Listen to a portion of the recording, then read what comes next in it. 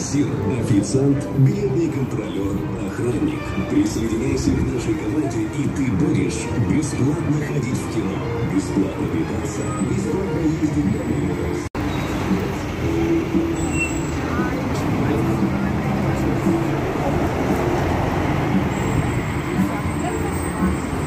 Vladivostok shahrining sentri.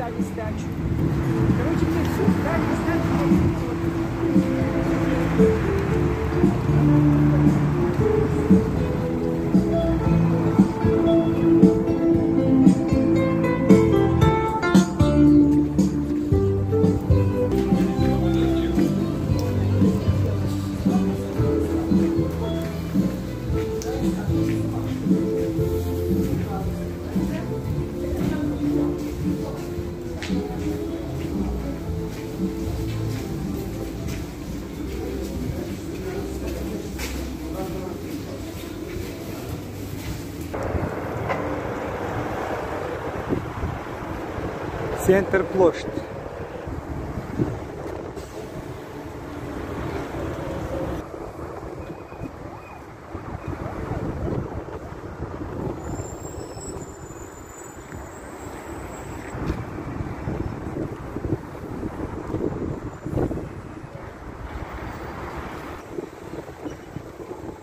Bu yerda yangi yil bayrami o'tadi mana shu Center ploshda. Bu e, Kajimenko, ya'ni bu Primorskiy hokimni ishxonasi. Mana aka. Vladivostokka eh, mana shu oxirgi bekat Xabarovskdan keladi mana shu poyezd. Mana bu yerga kelib to'xtaydi. Sizlarga endi eh, o'sha aytganimdek eh, Verxniy Portoy 46 O'zbekiston Respublikasining bosh konsulxonasiga qanday borishni ko'rsatib o'taman sizlarga. Mana bu Zolotoy most.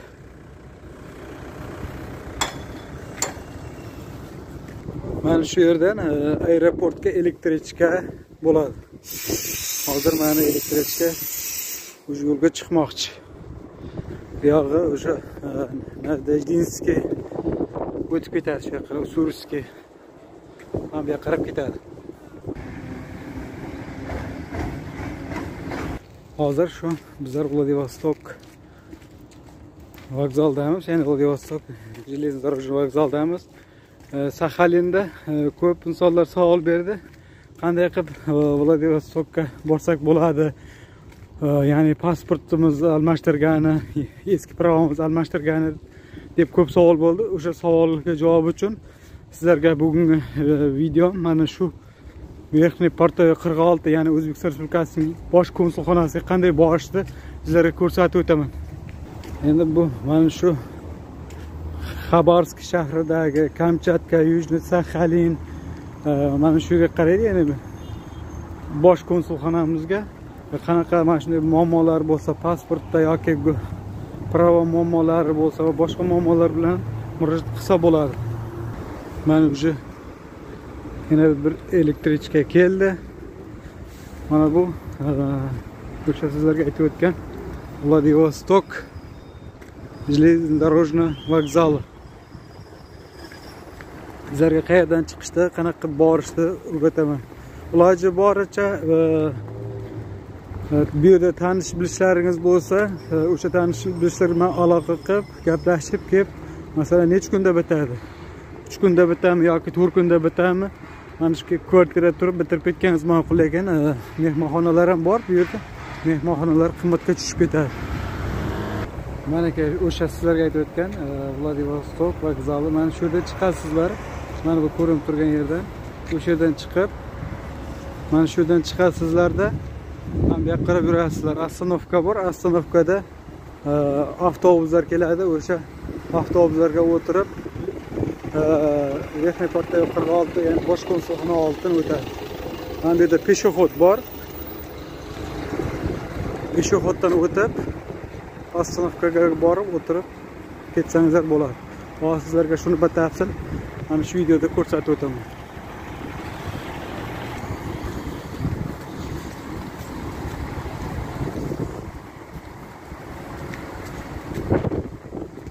bu bu peshovoddan o'tamiz bu yoqqa mana bu yerda o'tasizlar. Mana peshovoddan o'tib mana bu tarafda anaqa bor ostanovka bor o'sha ostanovkaga borasizlar. Hozir ko'rsataman.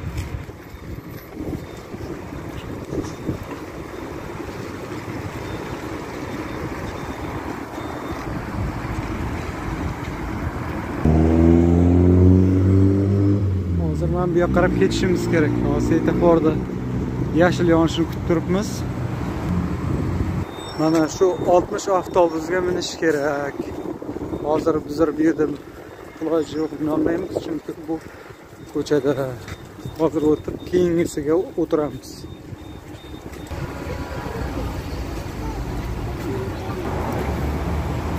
Voy o'sha svetoforda o'tib to'g'ri ketaveramiz hech yoqqa burilmasdan ya'ni o'sha gubernator ishxonasini to'g'risida остановка bor. O'sha остановкаdan mayakka qarab o'tirishimiz kerak. Ya'ni верхний portoy qirq olti manzilga tushish uchun sizlarga hozir ko'rsataman qayda qanaqa o'tirishni.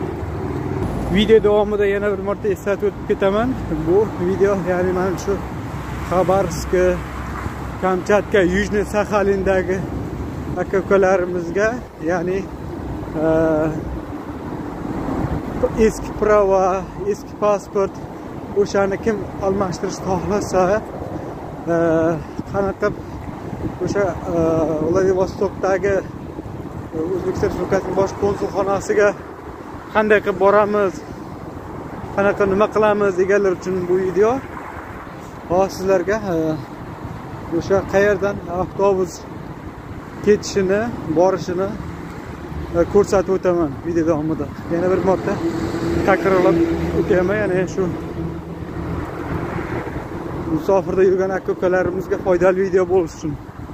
Mana o'sha sizlarga aytib o'tgan gubernatorni ishxonasini to'g'risida man deb. Mana bu ellik to'qqizga o'tirishimiz kerak edi afsus. Kechikdik. Lekin juda ko'p bo'ladi avtobus bu yerdan to'g'ri o'tsa bo'lardi. Bu yerda e, yer osti yo'li bor. Boshdan ko'rsatib o'tishga harakat qilaman. Ya'ni o'sha vokzaldan qanday chiqib qanday borishni ko'rsatib o'taman deb o'shancha vokzal tarafga qarab o'tib vokzaldan mana bu tarafda vokzaldan keldik. A tak e, bu yerdan to'g'ri o'tsam ham bo'lardi. Yer osti yo'lida. Oltmish kelyapti. Bu qaraysizlar o'zi yozilgan. Mana mana shu oltmish avtobusga o'tiramiz.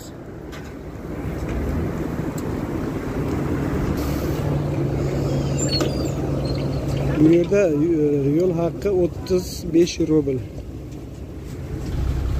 Mana avtobusga ham o'tirib oldik. Endi xudo xohlasa верхний porta qirq olti e, o'zbekiston bosh konsulxonasini oldida остановка joylashgan. O'sha остановкада tushib qolamiz. Sizlarga ko'rsatib o'taman. Iloji boricha. Подробно ko'rsatib qanaqa tushib qayerga borishini aniq video davomida ta'kidlab o'taman.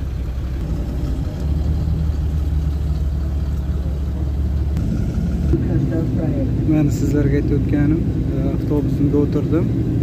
Hozir e, o'sha vokzalni oldidan e, tepaga burilib chiqib ketamiz o'ng qo'lga. Yana o'sha kelgan yerimizga avtobusga o'tirib qaytib yana o'sha yo'l bilan ketaveramiz.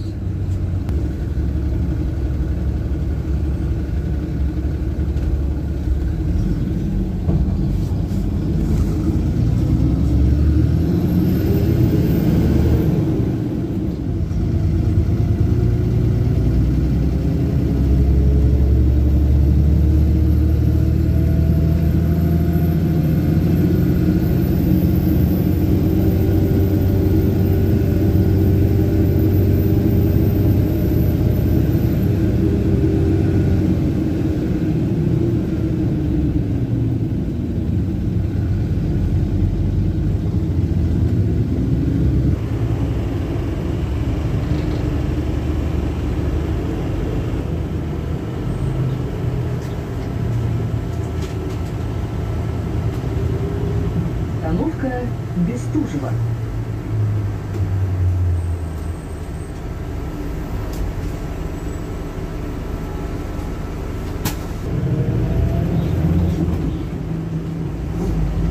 Следующая остановка – Морской университет. К сведению пассажиров, в салоне автобуса ведется видео и звукозапись.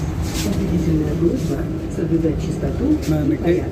hozir mana shu верхний portoya yetib kelyapmiz bestuji ostanovkasidan keyin tushib qolamiz mana shu bo'ladi o'zbek respublikasining bosh konsulxonasi ya'ni vladivostok shahrida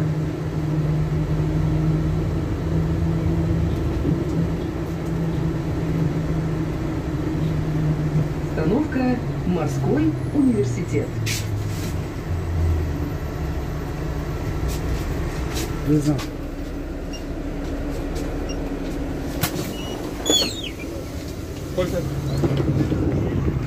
Malaka bir yerdan tushdik. Endi e, Morskoy ostanovkasi ekan, o'sha ostanovkadan tushgandan keyin shu o'ng qo'lga qarab yuramiz. Ha, ketishda mana shunday xuddi mashina minib ketasiz. Ya'ni o'sha vokzalga bormoqchi bo'lsangiz, ham mana bu yerda Peshoboddan o'tib, ostanovka o'tib, avtobusga o'tib ketasiz.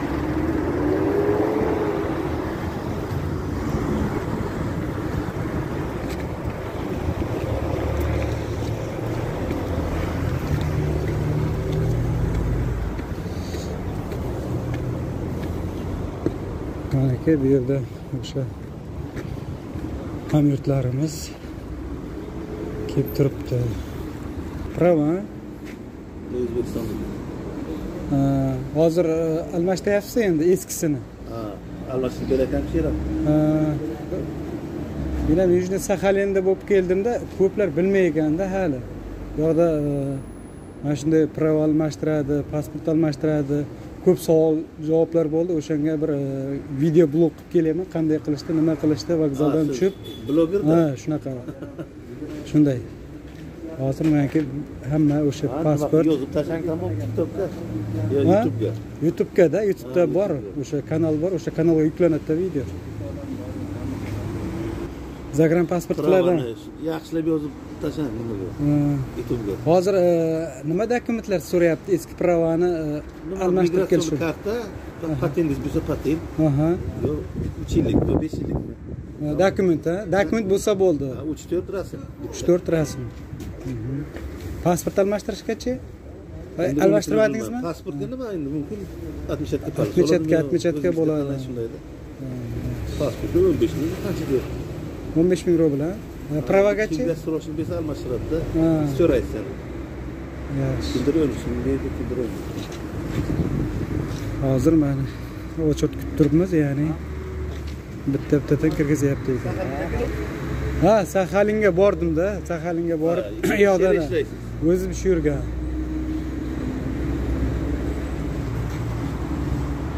Shu yerda ostanovkadan mana bu yerdan kelasizlar. Yana bir marta ko'rsatib o'taman. Mana bu yerdan chiqasizlar. и mana bu yerda e, ya'ni o'sha ish soatlari hammasi narsasi ko'rsatilgan. Bosh konsulxonasi e, dushanbadan jumagacha 9 dan 18 gacha ishlaydi. Tushlik vaqti mana bu yerdan telefon, mana telefon nomerlari mana shu telefon qilasizlar. Mana shu рабочий telefonlar. Tushlik vaqti soat 1 dan 2:30 gacha ekan. Hozir e, yana 7 minut qoldi, 7 minutdan keyin kiramiz ichkariga. Ostanovkani nomi Mariskoy universitet ekan. O'sha yerda tushib olasizlar. Yana bir marta sizlarga eslatib qo'yaman. Mariskoy universitet.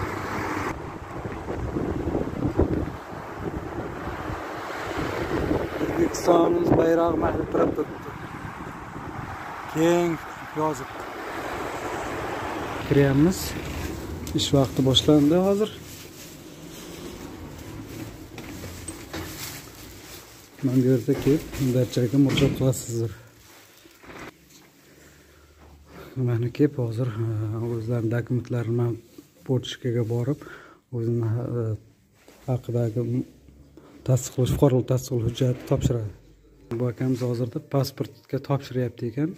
Hozir bu yerga kelganda aka e, bu yerda abrazislar bor. Abrazislar bilan yana tanishib chiqasiz ya'ni e, namunadagi qanaqa dokumentlar kerak qanaqa savollaringiz javoblar qanaqa dokumentlar to'g'irlamoqchi bo'lsangizlar hozir ko'rsataman. Mana shu yerga kelib e, o'sha navbatingiz kelguncha tanishib olasizlar. Mana bu yerda ko'rsatilgan qanaqa nima dokumentlar kerakligi masalan pasport almashtirishga yoki pravani almashtirishga nima dokumentlar kerak bo'lsa mana shu yerda abrazislar bor. Mana bu yerda abrasizlar bilan tanishib chiqib hozir e, katta kadrda rasm qo'yib joylashtiraman ko'rib olasizlar hammalaringiz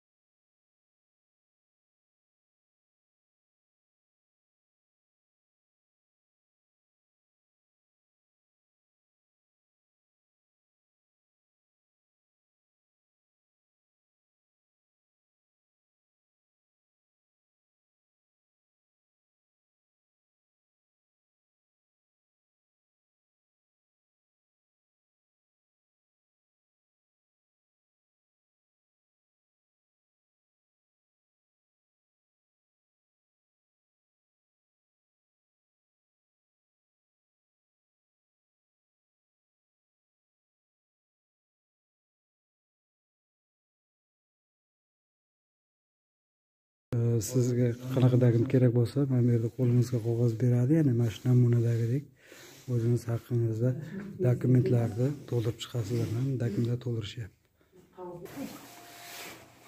Mana shu vladivostok shahrida yurtdoshlarimiz farzandli bo'lishyapti ya'ni e, o'zbekiston o'zbekistonga ketish uchun e, vaqtinchalik e, pasport to'g'irlash uchun ham mana shu yerga kelish kerak ko'plar bilmaydi nima qilish kerak qayerga murojaat qilish kerak. Ya'ni o'sha farzandiga to'g'irlash uchun mana shu yerga kelib e, o'sha bemalol murojaat qilsangizlar bo'ladi. Hozir e, keldik. Mana bu yerga kelasiz. Assalomu alaykum. Yaxshimisiz salomatmisiz charchamayapsizmi? E, ya'ni shu pasport almashtirgani keldim. Ismim to'lqin familiyam xolmo'minov pasportlar bor. Hozir mana bu yerga kelganda aka o'zimiz fuqarolik tasdiqlovchi hujjatingizni berasiz ya'ni menda hozircha hamma narsa bor. Просто sizlarga ya'ni video образец sifatida ko'rsatib o'taman.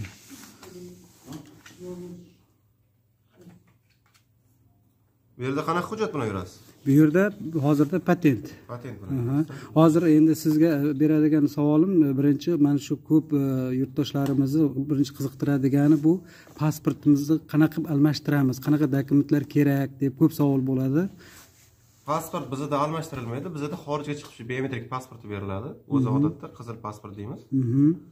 Ho'p e, qizil pasport olish uchun fuqaroda обязательно o'zini nobiometrik yashil pasporti bo'lishi kerak fuqarolik pasporti. Undan tashqari o'sha rossiya federatsiyasida legal holatda bo'lishi kerak. Bu degani o'sha migratsion registratsiyasi yoki kamida e, patenti bo'lishi kerak.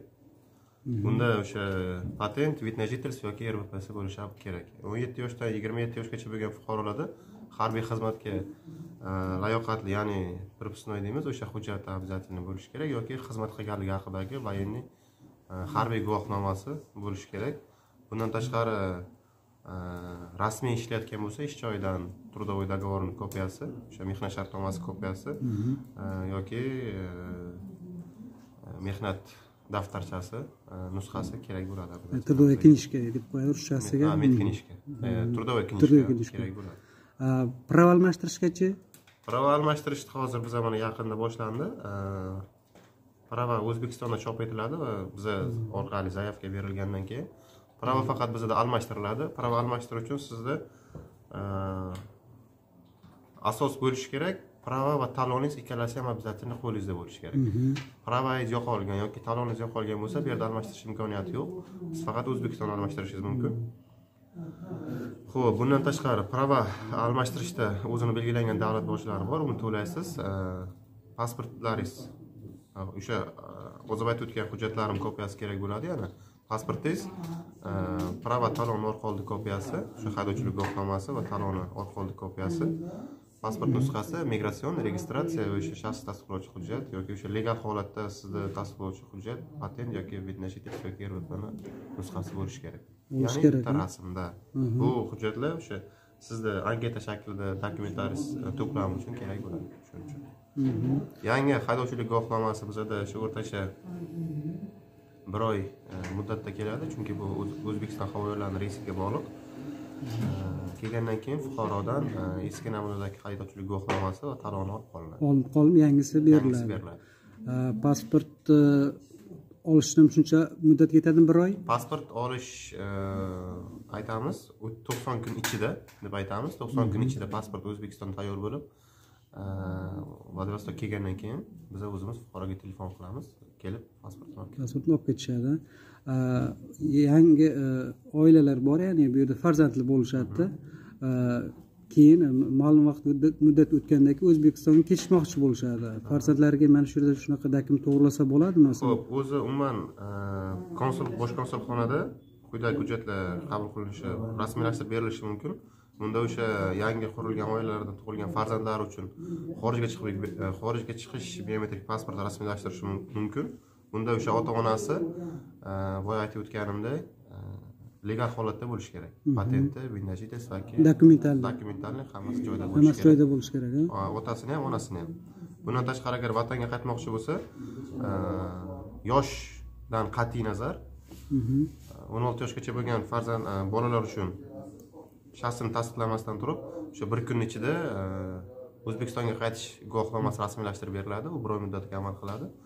E, o'n sakkiz o'n olti yoshdan katta bo'lgan fuqarolarga pasportini yo'qotgan yitirgan yoki yirtilgan bo'lsa e, birinchi navbatda o'zbekistondan shaxsini tasdiqlab olamiz. Bir oy muddat ketadi undan tashqari undan keyinchalik o'sha vatanga qaytish guvohnomasini rasmiylashtirib berishimiz mumkin. Mayli rahmat. Sog' salomat bo'lasizlar o'zimizga kerakli ma'lumotni oldik deb o'ylayman. Rahmat sog' bo'lasiz. Shu bilan kerakli ma'lumotni oldik deb o'ylayman. Ya'ni yana qanaqadir savollaringiz bo'lsa o'sha e, yetti yetti to'rt yigirma uch e, ikki yuz oltmish sakkiz qirq sakkiz nol nol telefon raqamlariga telefon qilib ma'lumot olsangiz bo'ladi. Mana shu yerdan kelib tushib qolasizlar hozir oltmish avtobusga o'tirasizlar yana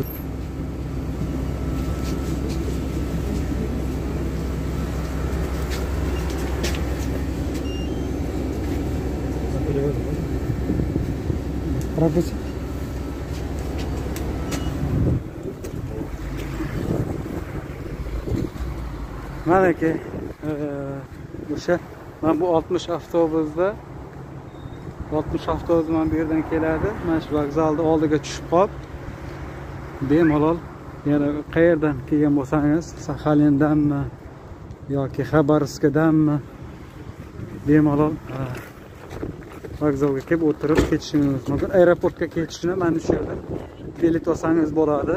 Ya'ni elektrichka bor elektrichkalar qatnaydi.